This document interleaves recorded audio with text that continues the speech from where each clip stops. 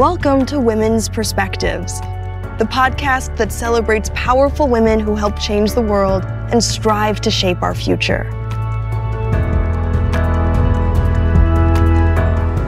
After decades of women facing barriers to pursuing their aspirations, today we see a rising trend where more and more women proudly embrace their ambition and fearlessly pursue their careers, their families, activism, and so much more. In today's episode, I have a conversation with Meena Harris, a woman whose unwavering ambition has led her to reinvent her career multiple times, from a lawyer to an entrepreneur to an author. She has continuously strived to make the world a better place, harnessing every resource on her journey. Welcome, Meena. I'm so happy to have you here.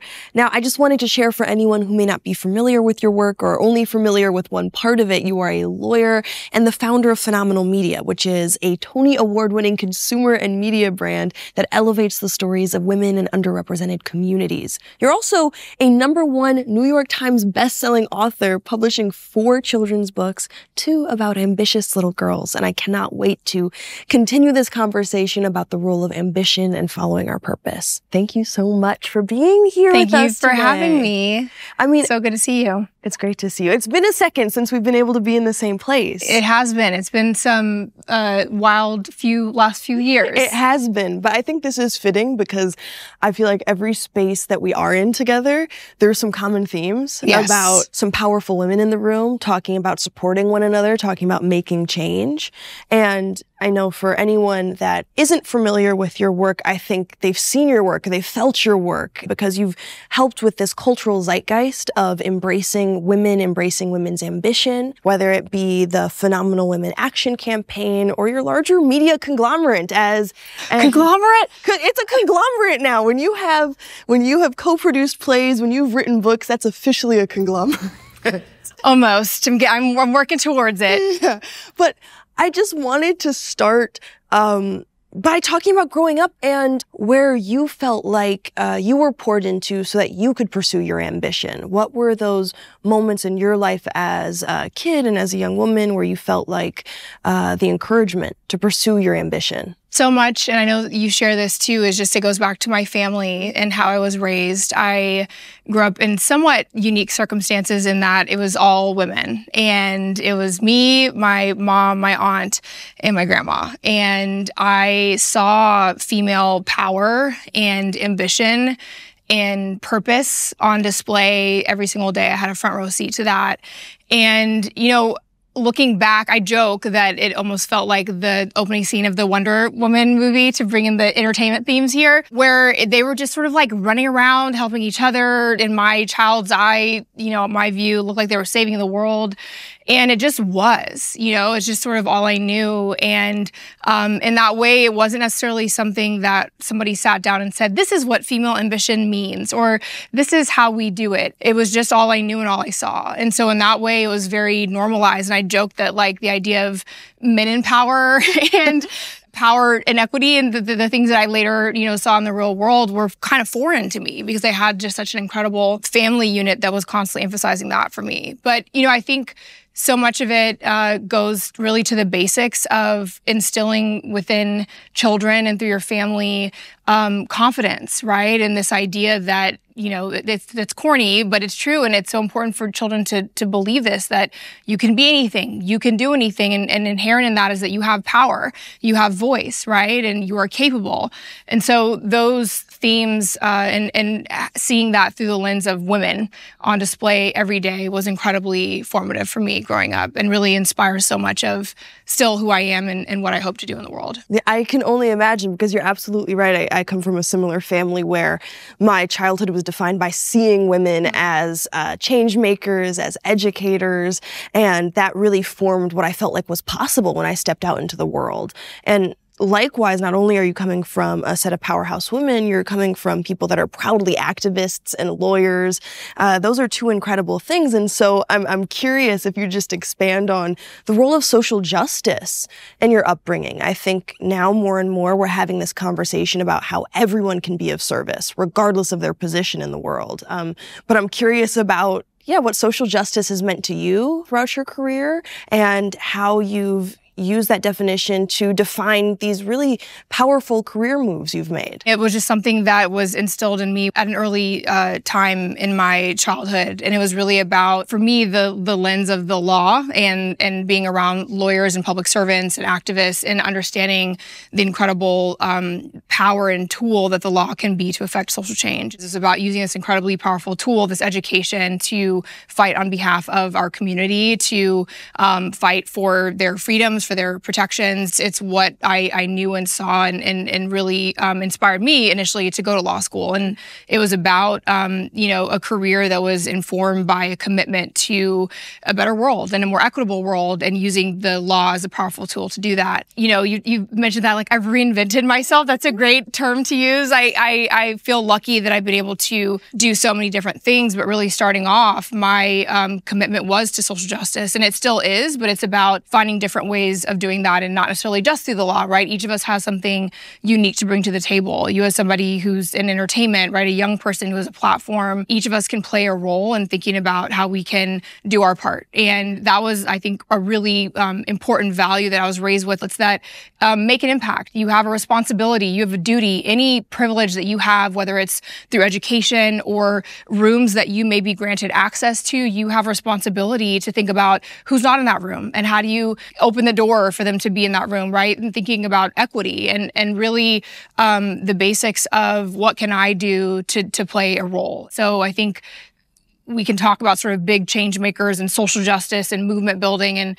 and sort of bigger picture um, themes, but it's really about what is the role that each of us as individuals can make and um, in our own unique way. I love this uh, quote of yours, which also just exudes everything you said now, which is no one can do everything, but everyone can do something. That so perfectly captures the point that you're making, which is that we are in a time in which we see these incredible moments of big change being made, but sometimes what's ignored is the fact that all of that is possible from many people committing to changes that are possible in their own life, seeing how they can be of service to their communities in small ways. And that's the only way we get these huge ripple effects. And I'd love to discuss how being an author was another way of making change. Because, of course, like you're saying, there's this very clear way through the law that you can be of service to people. But it's really powerful how you've continued to bring forward stories of women's ambition uh, through stories such as uh, the one on Mrs. Claus to uh, stories that are more directly talking to young girls about the words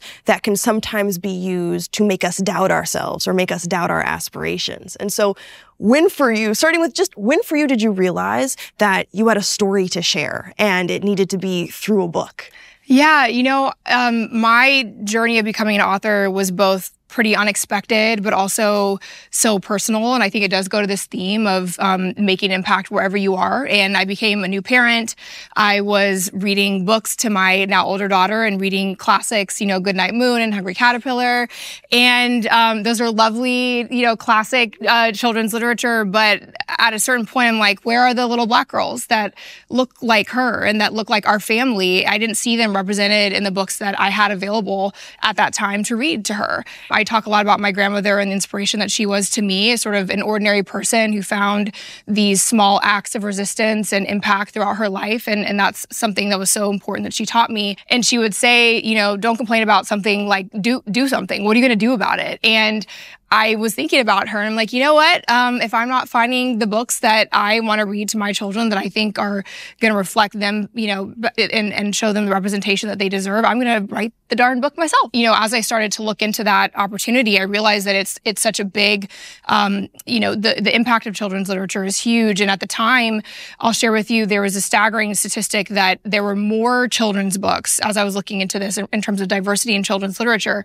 There were more children's books that had animals as main characters than Black, Latinx, Asian, and Indigenous human characters combined. So there are more children's books that had animals as main characters than people of color, mm. right? Wow. And so, and we've made so much progress since then, and I'm really proud to be a part of sort of this new era, right, of diversity and representation in children's books. But back then, um, there were still some, and this was not that long ago. Right, to be back clear. then, as in two seconds ago. Really, and you know, had such limited options. And I said, you know, there's something that I can do here. And before my eyes, with my, you know, at the time, two year old, three year old children, seeing that, you know, when they read books, they want to be the character in the book, right? They read about a, a jazz musician and they say, "Mommy, I want to be a jazz musician," right? And and we have this concept that you can't be what you can't see. But also, I saw in real time that whatever they were consuming and whatever they were seeing, they were inspired to be that thing, right? And so they deserve not only to see themselves on on you know pages of books but also to be celebrated to be the main character not just the side character right or the you know the non-speaking character. And so at that time um, you know there was uh, an opportunity and I, I, decided you know i'm going to do this. And um, it was definitely a departure from my day job. Um, but i think you know really being able to tap into that passion what is now a passion and you know purpose around diversity in children's books um, i did it through such a personal lens and one that was you know again in my own home right? Um, and then, you know, the, one of my kids' books is literally about two little girls looking in their literally their backyard, right? Like, what can we do to make this a better place for the children that live in this community? And so, really continuing to think about spreading those sort of messages through children's literature and, and understanding children's capacity to understand and, and, learn that at such a young age. Mm-hmm. No, that's really a beautiful point that you make because I feel like uh, my parents very much created what we call like an alternate curricula. So in my house, it was whatever character or whatever book uh, centered either our communities or other communities of color uh, were the ones that we read. And it created this precedent for me where I assumed that I belonged in the story. And it wasn't until I really started watching TV at yeah. 13 where I was like, wait, this isn't everyone's experience? Yes. Because I only had The Wiz and yeah. I had a Persian Cinderella oh, story. Man. I need Is that a book? Yes. Okay, I have to send. Uh, yes, I need some. I thought I exchange. exactly. Well, I have to ask you too, Yara, because you had the incredible opportunity to be the first Black Tinkerbell, and I'll share a funny story with you related to this and this idea of like it's all we knew, it's all we saw, and it was normal, and it was the world, our worldview. I um, maybe this is a little controversial, but you just mentioned not being able to watch TV till you were 13. My kids had never seen the original uh, Little Mermaid. And when the Haley. Yeah, when Halle uh, or Halle um, Bailey version came out, that I because you know there's all this stuff online about like showing it to kids. They were like so wowed and they couldn't believe it. My girls were like, of yeah, course. yeah, this is how it should be, right? Because that's literally the only mermaid they had ever seen.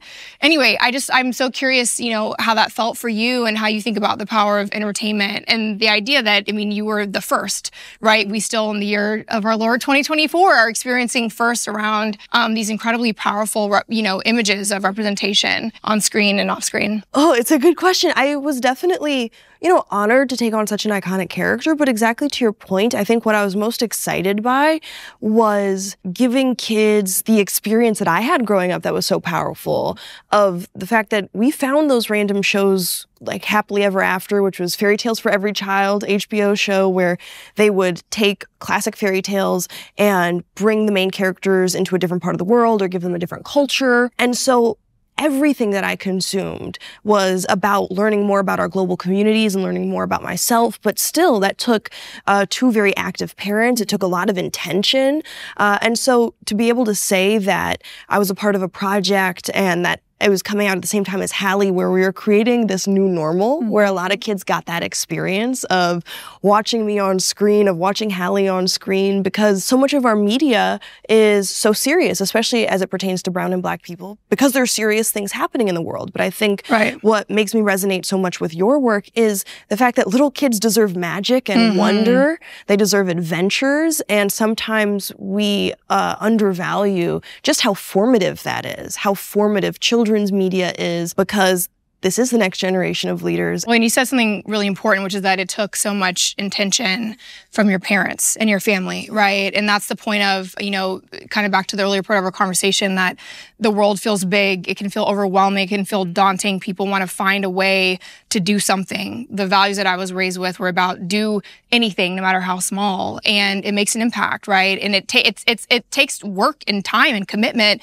even something quote unquote as small as you know thinking about how you're raising your kids with all alternate you know curriculum and different looking bookshelves and maybe available to them at their school library. Yeah. Right. Um, this is you're a little bit younger than me, but we're still in a time where um, there are efforts to limit kids' ability to go access those sorts of books in libraries or in their schools, right? And so understanding how important so much of this is within the home and what us parents can be doing and really showing up with that intentionality, it's incredibly powerful. Absolutely. And you're an example of, thank right, the the outcomes that we can all achieve. Oh, thank you. And I I mean one thing that I was just so excited to talk to you about is that you're a part of three generations of powerful women. And something that's always been important to me and my family is this concept of intergenerational exchange. Mm-hmm. That we can't have these conversations in a silo. It can't just be Gen Z talking to each other, but right. the power of also what we have to learn from one another. And so, you know, I'm curious as somebody that uh, is an entrepreneur in your own right, but comes from lawyers and activists and raising two future world changers. Uh, Uh, how has that influenced your work? How has that influenced your journey constantly being in community with every generation of women? Yeah, I mean, I think that there, as you said, it's you know, it's it's mutual learning and understanding, and um, there's so much to learn from the next generation. I mean, I'm so inspired by um, so much of what Gen Z and your generation has been able to disrupt and um, to show sort of new ways of doing things, and frankly, rejecting a lot of the things that I think my generation was burdened with um, and and the generation before that right? And i think that you know to take as an example one theme that I talk a lot in my I talk about a lot of my books is ambition and female ambition, and something that I think you know has typically or can be used uh, as a negative against women. Right? She's ambitious. She's um, you know power hungry. Right? right? The connotation is you're doing too much. Exactly. Or you know, stay in your lane. You can be ambitious, but not too ambitious. And we for a, a long time had this sort of one dimensional view of ambition as really tied to career or you know like this the girl boss, right? And that was sort of this like archetype for female ambition yeah. that I think Gen Z has really, in many ways, um, allowed us to understand um, is one dimensional and limiting, and that ambition, as an example, is not something that has to be um, limited to career, right? So when I think about the next generation, not only who I'm raising, but also learning from um, young people, is that it's sort of defining things however you want and being able to do things on your own terms and not being burdened or pressured by the generation that came before you. And so you know, in parenting, I think about this a lot where I think we're, I, I always was the person to say, what do you want to be when you grow up? You're going to be a future change maker. And that's great, right? Mm-hmm. There's, a, there, there is something to instilling that confidence and that power.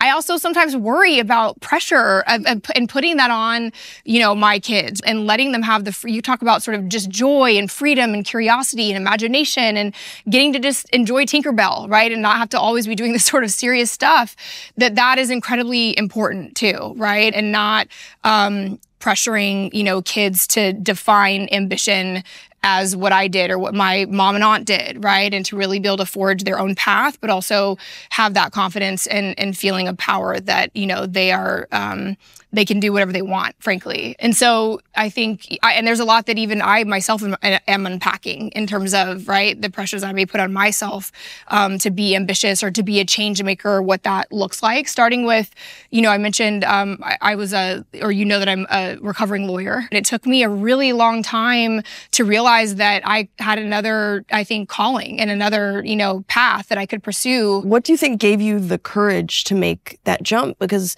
you know, some people may think if you have the guts and the skill to get through law school, you can do absolutely anything. And while that's true, I can imagine there was still some nervousness around finding a different career path or or honoring those other instincts and desires that you had. I love that honoring those desires. Yeah, I mean, you know, it was not only scary. I also had student debt. Uh, so that's you know, a very I, real thing. Yeah, I, I, went to my I, I went into law school. You know, inspired by what I saw around me in terms of the as we talked about earlier, the the power of the law to affect social change.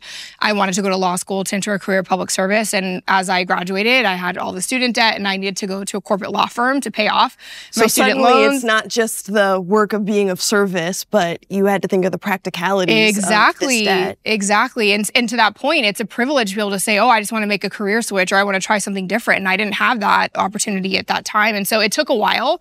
Um, and for me, it was really about continuing to honor, you know, both that those values of having an impact, which at the time I was sort of always doing on the side, right? Phenomenal, what was previously the Phenomenal Woman Action Campaign, the first iteration of what I'm now doing.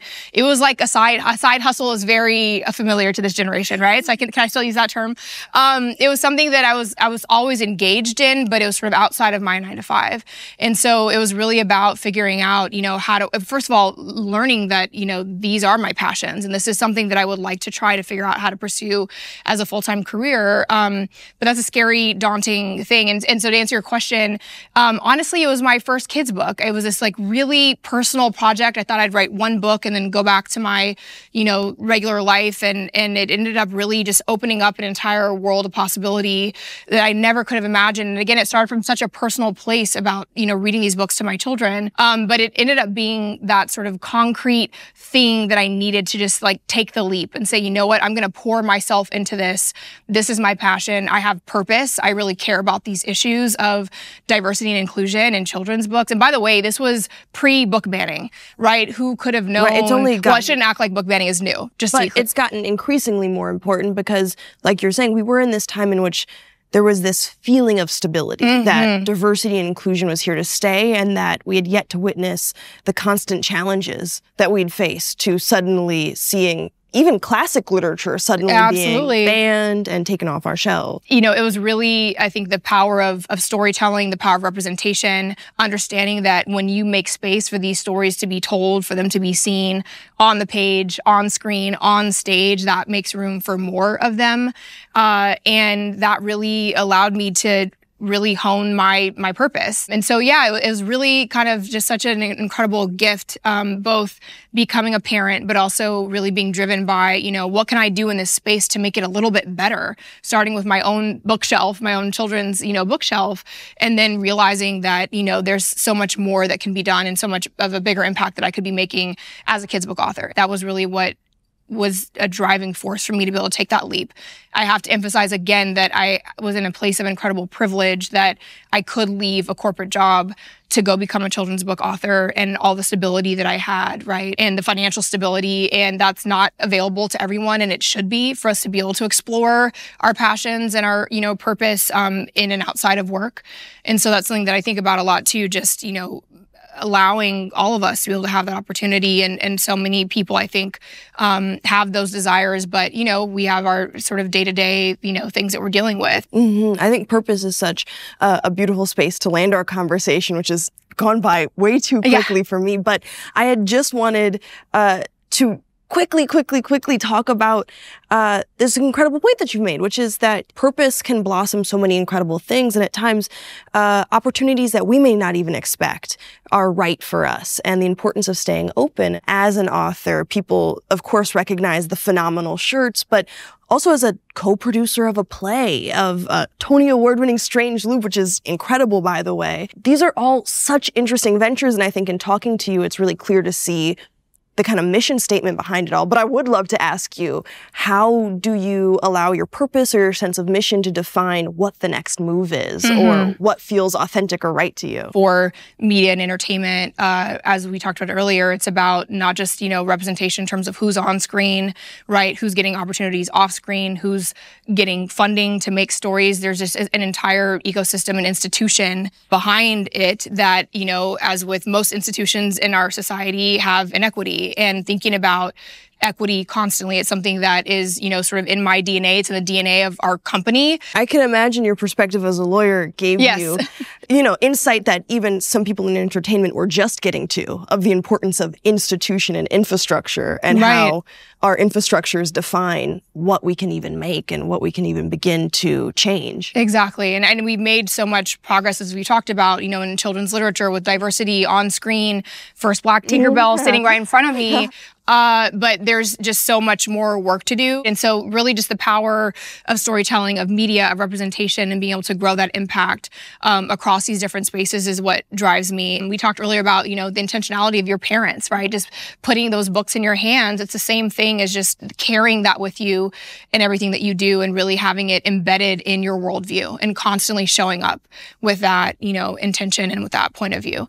Um, and I think people like us, uh, if I can say that, who were sort of raised in families that really truly instilled that within us every day. I think it can kind of come more naturally, but you know, it takes it takes work, it takes intention, it takes really thinking critically about you know uh, what what what role can I play and what are the outcomes that I'd like to see, and really committing to that. And so that's you know who who I am and, and what we are and what I hope to continue growing. Well, thank you for this gift of sharing your journey, of sharing your sense of purpose, because I, I think these conversations are a part of uh, sharing the power of even the homes we grew up in with the world around us is is opening these conversations and opening these doors. So thank you. Thank you. It's so um, fun to be with you, and I'm so excited to just have this opportunity. You know, likewise, and I, I cannot wait. You know, we will be sitting in the audience on Broadway oh, this season. Tony, it's very yes. soon. Thank you, it. Yara. It's so good to see you. So good to see you, and I, am sure the next space that we uh, come together in will be equally as interesting. I know.